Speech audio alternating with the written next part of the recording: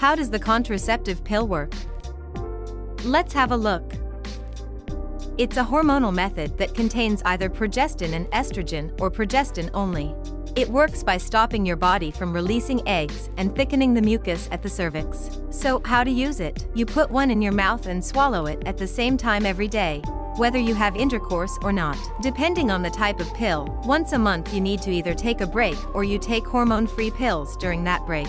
Talk to your doctor to discuss pros, cons and potential side effects of this prescription drug. Some pros are, it is highly effective, it's easy to use and permits sexual spontaneity. Some pills may reduce heavy and painful periods. Some cons are, you have to remember it every day and keep track of the number of days taken. It may cause changes in your menstruation cycle. It doesn't protect you against sexually transmitted infections like HIV AIDS.